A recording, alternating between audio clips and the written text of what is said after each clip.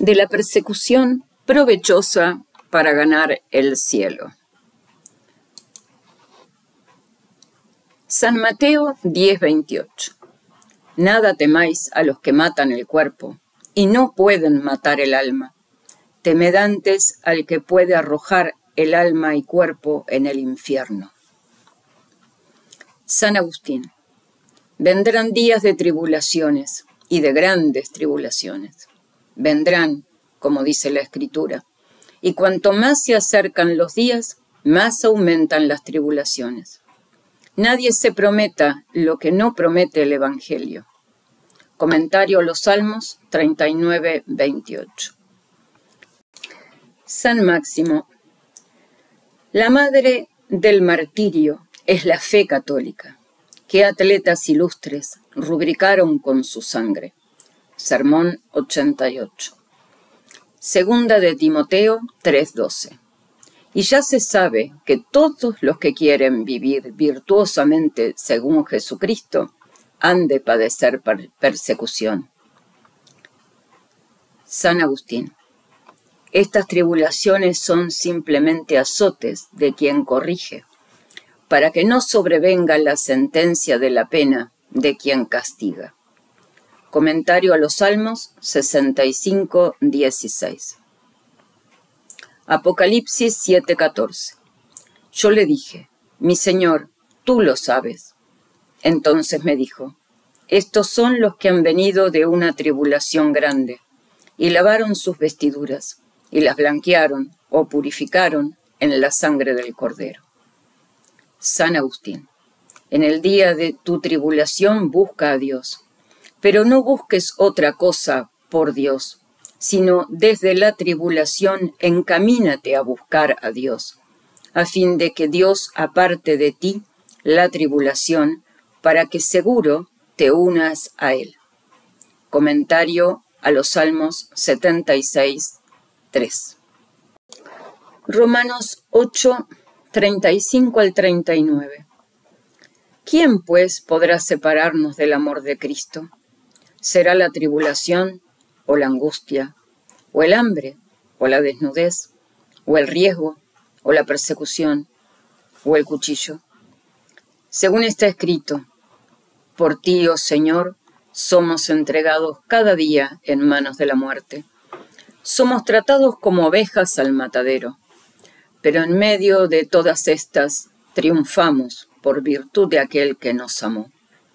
Por lo cual estoy seguro de que ni la muerte, ni la vida, ni los ángeles, ni principados ni virtudes, ni lo presente, ni lo venidero, ni la fuerza o violencia, ni todo lo que hay más de alto, ni de más profundo, ni otra, ninguna criatura podrá jamás separarnos del amor de Dios que se funda en Jesucristo nuestro Señor. San Agustín. Pues, ¿para qué mezcla Dios las tribulaciones en los goces terrenos? Sino para que, sintiendo la tribulación y las amarguras, aprendamos a desear la eterna dulzura. Comentario a los Salmos 137, 7. Primera de San Pedro 4, del 12 al 19. Carísimos, cuando Dios os prueba con el fuego de las tribulaciones, no lo extrañéis como si os aconteciese una cosa muy extraordinaria. Antes bien alegraos de ser participantes de la pasión de Cristo, para que, cuando se descubra su gloria, os gocéis también con él llenos de júbilo. Si sois infamados por el nombre de Cristo, seréis bienaventurados porque la honra, la gloria y la virtud de Dios y su Espíritu mismo reposa sobre vosotros. Pero jamás venga el caso en que alguno de vosotros padezca por homicida o ladrón, o maldiciente o codiciador de lo ajeno. Mas si padeciere por ser cristiano, no se avergüence, antes alabe a Dios por tal causa, pues tiempo es de que comience el juicio por la casa de Dios y si primero empieza por nosotros, ¿cuál será el paradero de aquellos que no creen el Evangelio de Dios? Que si el justo a duras penas se salvará, ¿a dónde irán el impío y el pecador? Por tanto, aquellos mismos que padecen por la voluntad de Dios, encomienden por medio de las buenas obras sus almas al Creador, el cual es fiel. San Agustín. La tribulación es un fuego que si te encuentra siendo oro, te quitará la maleza, y si te encuentra siendo paja, te reducirá a cenizas. Sermón 81, 7. Santiago 1, 2 al 4. Tened, hermanos míos, por objeto de sumo gozo el caer en varias tribulaciones, sabiendo que la prueba de vuestra fe produce o ejercita la paciencia, y que la paciencia perfecciona la obra, para que así vengáis a ser perfectos y cabales, sin faltar en cosa alguna. San Agustín. No decaigamos frente al azote para gozarnos en la resurrección. Sermón 157.3. Primera de Tesalonicenses 1 al 6.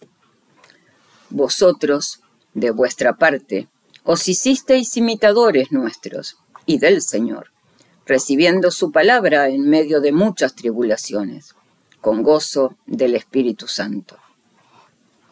San Agustín. Toda tribulación es castigo de los impíos y prueba de los justos. 83 cuestiones diversas 27. Segunda de Corintios 8, 2. Y es que han sido colmados de gozo a proporción de las muchas tribulaciones con que han sido probados, y que su extrema pobreza ha derramado con abundancia las riquezas de su buen corazón. San Agustín.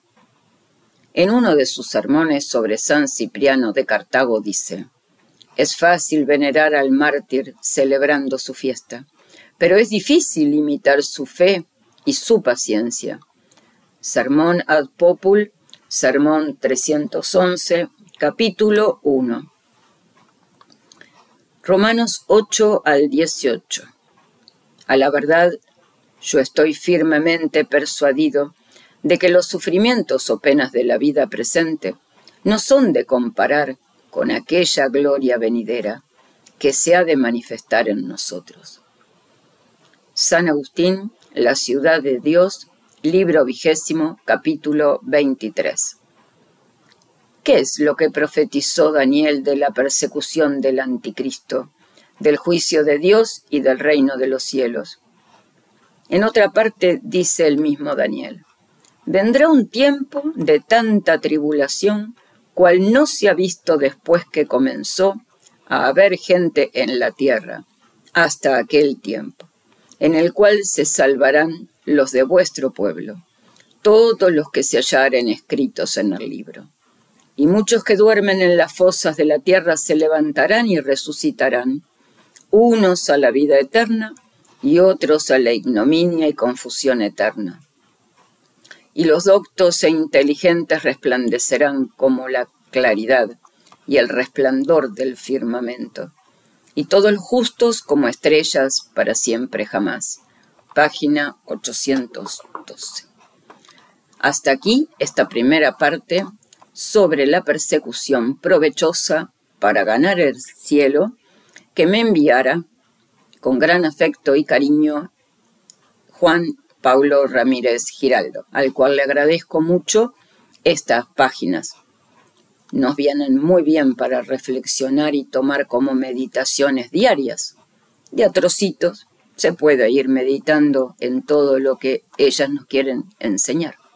Bendito sea Dios y salve su Santísima Madre, la Virgen María.